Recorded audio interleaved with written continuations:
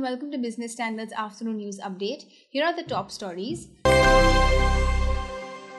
Delhi police likely to file charge sheet in the IPL fixing scandal. The Congress working committee is set to meet tomorrow on the Telangana issue and Congress MP says that a Rajya Sabha seat can be bought for 300 crore rupees.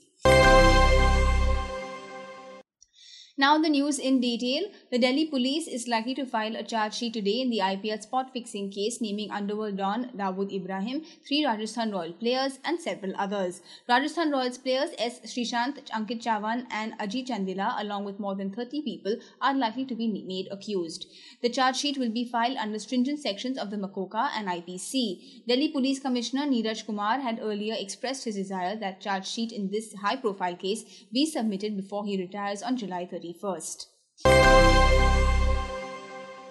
Veering towards conceding the demand for a separate Telangana state, the Congress has convened a meeting of its working committee, the party's highest policy-making body, tomorrow after deliberations on the issue in the UPA Coordination Committee. These meetings come at a time when the Congress High Command is said to be inclined towards bifurcating Andhra Pradesh, notwithstanding the opposition from within the party and its state leadership. While the UPA meeting is an attempt to secure a stamp of approval of the constituents of the ruling alliance, the Congress Working Committee meeting is to take a final call after it gets a sense about the stand of the allies on the issue.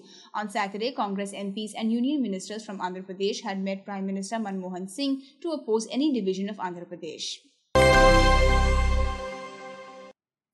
A Congress Rajya Sabha member from Haryana, Birinder Singh, has made the sensational claim that berths in the upper house are available for 300 crore rupees, triggering a controversy with the BJP today slamming the ruling party at the centre for bringing politics to such a low level. The BJP was quick to hit back, Party spokesperson and Rajya Sabha member Prakash Javadekar said Singh must be giving his own example. Singh was AICC General Secretary in charge of Himachal Pradesh but was dropped in the recent AICC reshuffle. There was strong speculation that he could be made a minister in the recent reshuffle of the Union Council of Ministers.